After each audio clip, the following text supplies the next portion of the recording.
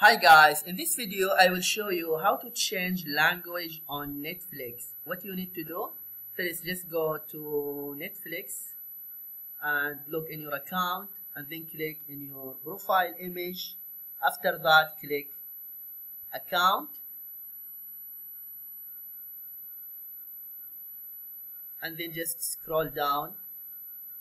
Here you see your profile controls then just click here in this little arrow. And then you see here language English. Just click here change. And then just you can select any language here you want. Just choose the language. And after that click save. This is what you need to do if you want to, to change language on Netflix I hope this video is helpful. Please don't forget to give a like and subscribe to the channel if you are not subscriber yet. Thank you and see you.